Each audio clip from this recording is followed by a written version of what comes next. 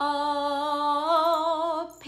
size, age, shape, and color, origin, and material, followed up by purpose and the noun. Don't you know? Are the order adjectives go in the English language, and it's been that way forever, even if you think it isn't so. When you're looking to describe a noun, then isn't it the worst? Out of all the languages in the world,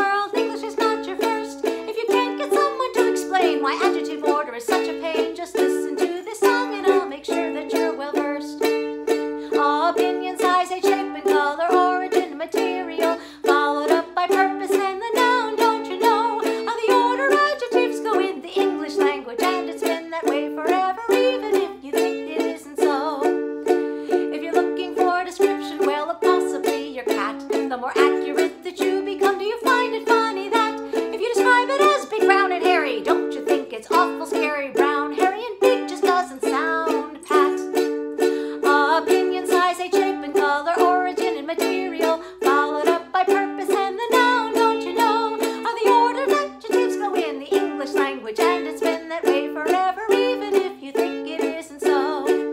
Though it's not ours to question why and leave it on the shelf. I thought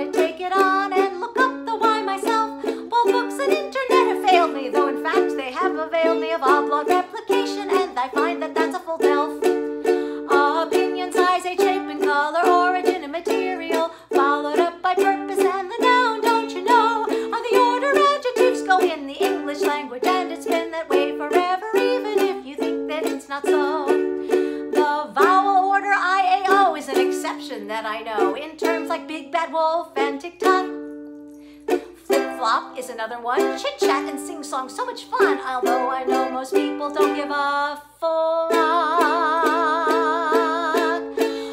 Opinion, size, age, shape, and color, origin, and material, followed up by purpose and the noun. Don't you know how the order adjectives go in the English language, and it's